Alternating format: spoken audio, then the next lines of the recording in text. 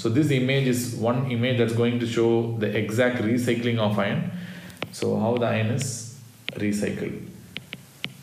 So this image what I have given is a typical example of an RES that is reticular endothelial system otherwise called as monocyte macrophage system. So monocyte macrophage system is a per se a very big system which includes a lot of monocytes and macrophages scattered out throughout the body in different places but we are not going to details about all those things. But what happens in the reticular endothelial system? There are four processes by which the RES can get iron. The first way is through the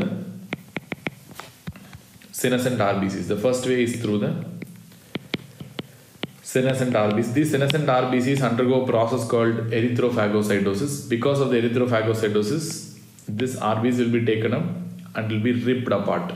They will be ripped apart inside the erythrophagosome. And once the RBCs are ripped apart inside the erythrophagosome, you are going to uh, push heme and globin. Obviously, you know very well this globin is going to degraded further into amino acids which can be further recycled.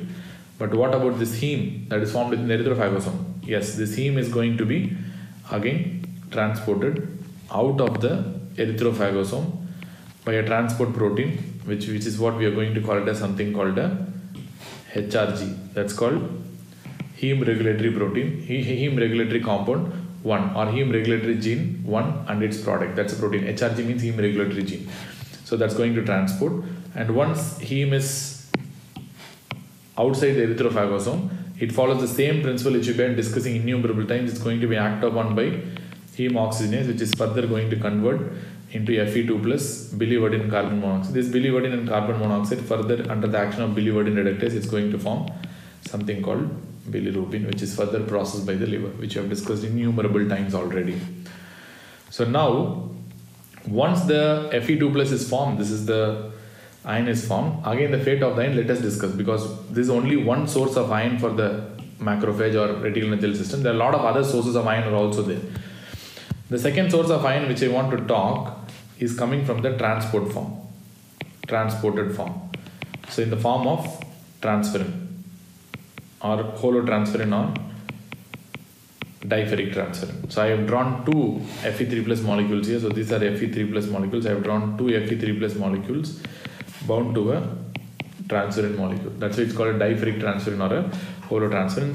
We have specialized transferrin receptors that is present on the cell membrane one, which is typically having high affinity for taking up transferrin. So this is what we call as a transferrin receptor one. Or uh, you know like this is the one that binds with the transferrin and endocytose the transferrin inside. So endocytose the transferrin inside. So once inside the endosome that is formed your fe2 plus is further converted to fe2 plus which means they are going to reduce which means this STEAP3 enzyme is going to do that here which means this STEAP3 is somewhat similar to the uh, I mean the ferroreductase what you have seen, which means this STEAP3 enzyme is somewhat similar to the cytochrome B or that ferroreductase enzyme you have seen in the uh, you know like intestinal absorption of iron. So once this Fe2 plus is formed, it is moved out of the endosome and into the intracellular compartment of the cell and out of the endosome by again the same DMT1 which you have seen that is called a divalent metal transporter number one. So this is the principle that is happening. Apart from this, again this once this Fe2 plus is pushed out, it enters the common ion pool inside. Similarly, if you have other ways of how to take the iron outside, so for example, you have haptoglobin hemoglobin complex. Haptoglobin is going to trap the free hemoglobin molecules that is circulating in the blood. So free hemoglobin molecule generally, I mean, do circulate a little bit because normally itself some tearing of the RBCs might happen while passing into the circulation so that your hemoglobin may be released in free form. This free hemoglobin is actually quite dangerous.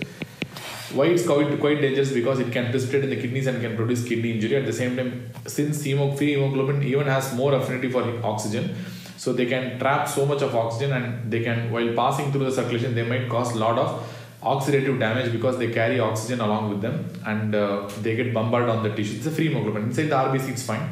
If it's free, it's going to bombard a lot of surfaces and it's going to cause oxidation related injuries because they carry oxygen.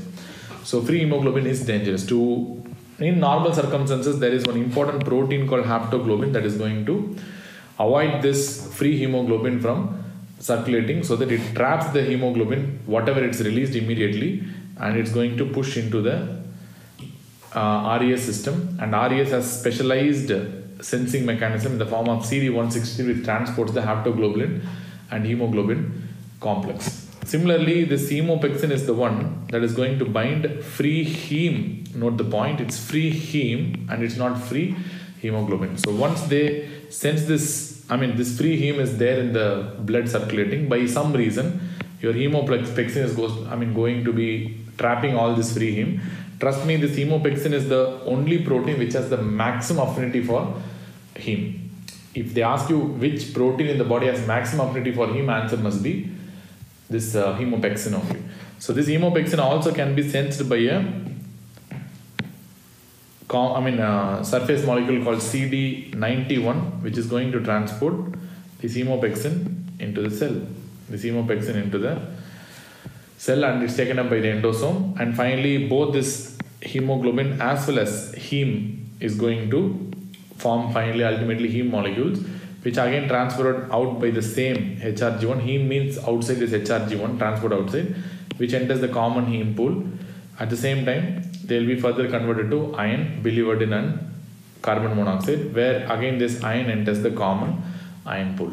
Similarly, once there are, now you can see the intracellular iron sources is coming from four things. One is maybe by erythrophagocytosis, second maybe by transport form of iron, third maybe by uh, haptoglobin hemoglobin complex or fourth maybe by hemopexin heme complex.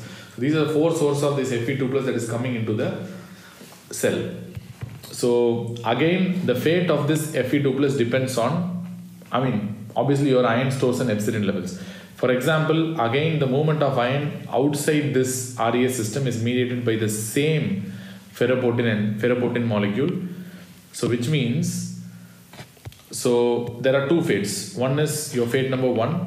So fate number one is followed if your ferroportin is blocked. If your ferroportin is blocked, your fate number one will be followed. When ferroportin will be blocked, if you have a high circulating ion which is going to release a lot of hepcidin which is going to block the ferroportin, which means whenever you have high iron in the sense which means they have to be stored in the form of ferritin which means when you have a high circulating iron means it's a time for storage not for i mean putting again and again into the circulation and creating more problem.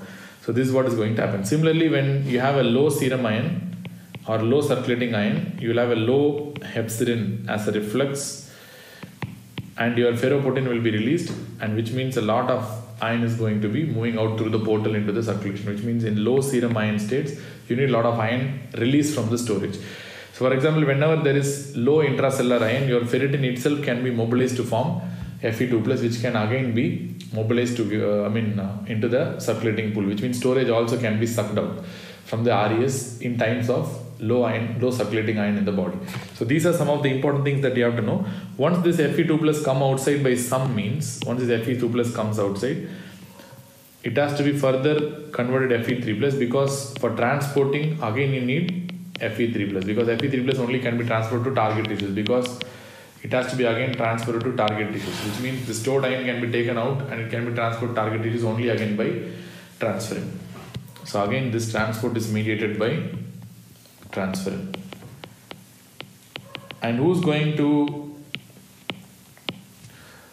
convert this Fe2 plus by Fe3 plus to Fe2 plus to Fe3 plus? It's the ceruloplasmin which is somewhat similar to your hephaestin in the GIT or which is otherwise called as ferroxidase. It is the ceruloplasmin is the one that oxidates Fe2 plus to Fe3 plus here and this is the one that uh, is very similar to the hephaestin and your uh, I mean, otherwise called as ferroxidase that we have seen in the GIT. So this is what is going to happen. This is how an iron recycling happens in the first place.